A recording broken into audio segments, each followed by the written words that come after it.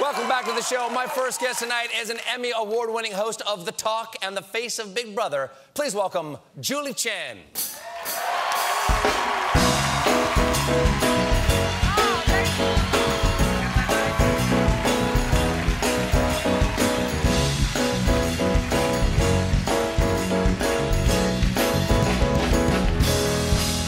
that was nice. Yeah, lovely dress. Thank you.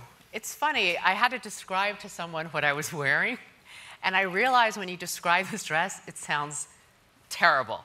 I said, it's like. I said, okay, it's like black. I think it's kind of chiffony. It's kind of like, picture like a moth, like mothy. And I said, I think there's like silver and like gold lame all over it. And I realized it sounds like a disaster when you don't see it and you hear it. But It's iridescent spring flowers falling over a midnight sky. Well, not all. Took the words right out of my mouth. Come on. Hey, uh, it's not like we hang out or anything, but we did hang out uh, a little over a month ago at the Lincoln Center, what was it called? The American Songbook thing? Yes, they were Yeah. honoring my husband. Yes. And so, um, Moonves, yeah. yeah, runs uh, this great company. And so, of course, all the great stars on CBS came out. It Mm-hmm. was a star-studded night. And I got a chance to meet your son, uh, Charlie. Yes, but I have to be. I have a confession. Okay. I'll get the confessional back out Um, yeah, here no. if you'd like. You know, look, that night everyone's lining up. They all want their FaceTime with you. And like I'm very respectful of like not like trying to dominate someone that everyone's trying to talk to. And I thought, I'm gonna save my moment with Stephen Colbert to get a picture of my seven-year-old son Charlie with you. Oh, I'd so much rather have my picture with a seven-year-old. we have the same. We have the same reading level. Well, you know, he's a big Stephen Colbert fan. You remember you came to our house for a did. meeting. Yeah, sure. He met you, and then shortly after we saw all your billboards, and he was like, "There's Colbert! There's Colbert! Pull over!" my-" I'm like, "Yeah, I know, I know, I know."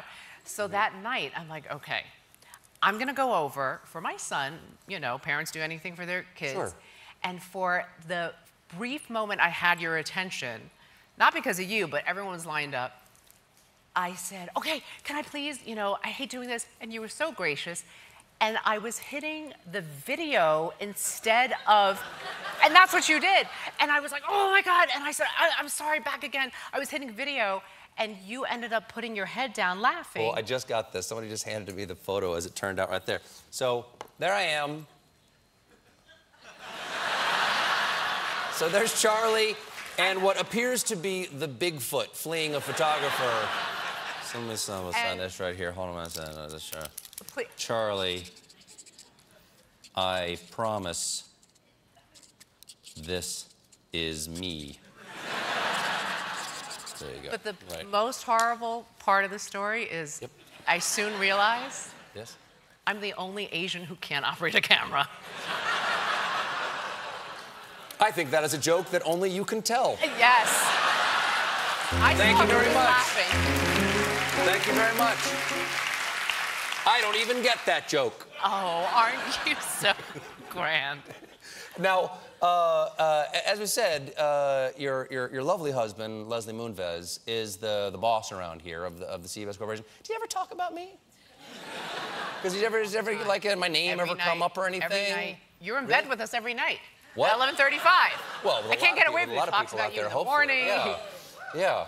All the time. Now we uh, we have a pet name for him. You know, at CBS, it's uh, Mr. Moonves. And do you have any? Do you have any uh, pet names for I Les Moonves back home? do because you know my husband's like this tough, gruff guy. He's like a man's man, and every now and then he um, shows his squeamish side. Squeamish? How so? Oh no, please! I, I, I don't even want to say anything because he's gonna be like, oh, Jules, oh, oh, oh, oh." and it's things that you would be like, really? Like I said, I'm gonna go breastfeed the baby. He's like, oh, you know? I mean, this is what. So anytime he gets that way, I'm like, what's wrong, my little petunia? He's my little petunia. Okay. And it always makes him I'll laugh. keep that in mind. Don't. He's Don't. my no. petunia. No petunia? No. Mm-hmm. No, I call him. I call him Big Dog. That'll do. Moon Man, LL Cool Les, Mr. Chen. Now, You know, someone called him that once. really? You know, It's a compliment. When, I thank you. When I used to work in news, every night um, they would send the homework to the door, and one day he opens the door, and it was an Asian guy, and he goes, looks him very suspicious, and goes, "Mr. Chen," and my husband goes, "What do you think?" And he grabbed the homework, and I was like, "Yes, Mr. Chen." Uh, you started off. Uh, you started off in CBS Los Angeles originally. No, I started out in Dayton, Ohio, Oh, at the ABC affiliate. paying your dues. Paying my dues. Yep. And, and it's great. You know, if you want to work in news, you go to um, a smaller market and you learn so much about local government. You go to like school board meetings, city council meetings, you know, everything. And um, that's where I, that's where I got my start. But I was an intern in 1989 at CBS Network News, where 10, la- 10 years later I was anchoring the show. Here in New York. Yeah, yeah, yeah, yeah, yeah, yeah, yeah. So that was. What did you learn? Because we have interns here. We have interns here. I'm always curious, like, what are they really learning? I want them, because they actually do help to do the show. I want to make sure they're learning something. Like, what did you learn? I'll be the first one to say that I didn't take full advantage of my internship because, you know, I'm from Queens. I grew up in Queens, and and yes, it's here for Queens. People in Queens not work hard? I don't understand what you're saying. No, it was, and I was like, what do you mean we're not getting paid? You know, like I was very. Oh, that was back in the dark days. That was back in the dark days. Interns right, got paid. Right, yeah. before the class action lawsuit. Yeah. But I made a lifelong friend at that internship. Who? Well, I, before I tell you who it is, because Yeah. I know you know him, um, I was 19 Mm-hmm. and I had a crush on one of my fellow interns. This guy walks in and he had this beautiful, wavy dark hair that he wore in a low ponytail. And he had these plastic rimmed glasses like, um, like Elvis Costello. And he wore like Doc Martens and, and like a houndstooth jacket. And I was like, wow, like this guy is so cool. Then, fast forward, you know who Andy Cohen is? Yes, I'm familiar with Mr. Cohen's I know work. you know. He was Andrew Cohen then, and I had a boyfriend in college, and I guess I was always talking about Andrew Cohen, Andrew Cohen, and then one day, uh, my boyfriend says to me, um, "Hey Jules, you know." Your intern friend Andrew Cohen, he was a waiter, my, my boyfriend, said he came into the restaurant, and uh, I hate to break it to you, but he was hitting on me. I was the last person to find out that he was gay, apparently. Hey, I got one other thing for you. I know that you, you, you've talked about how uh, on Big Brother they didn't know that Donald Trump had won the election. They were sequestered while Donald Trump, uh, uh, you know, got the victory.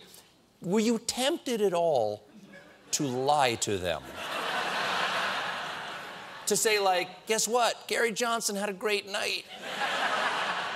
Anything. We're not going to have a president for a while. Like, did it occur to you at all? You know, the rules basically of Big Brother, if you're locked in that house, you're not mm-hmm. allowed to have any news from the outside world. Right. So I didn't even think I was going to tell them who won the election.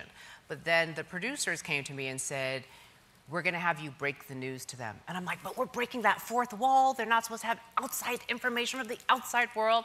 And then I thought, but wow, what a moment. Okay, like I'm, go- I'm going to be. Sure. So I go in, hello, house guests, the whole thing, you know.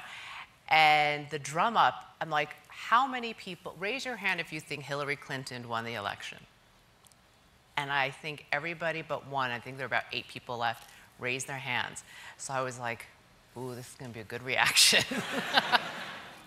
and I laid it out there, and it was so interesting to see everyone, A, jaws dropped, and then B, they all looked around at each other like, oh, they're gonna judge me if my jaw is open. Because, you know, politics, once you say how you feel about any issue or any candidate, you've automatically pissed off half the country. So they were like, oh, oh, oh, oh, because they know the cameras are on. It was, it was fascinating to watch. So let me get this straight. So when you're in the Big Brother house, you have no idea what's going on on the news on a day-to-day basis. Zero. If things keep going the way they are, are there any openings? Because I'm in. I'm so in. Thank you for being here. The Talk airs weekdays right here on CBS, and Big Brother returns for its 19th season this summer. Julie Chen, everybody. We'll be right back with Matt Walsh. Stick around.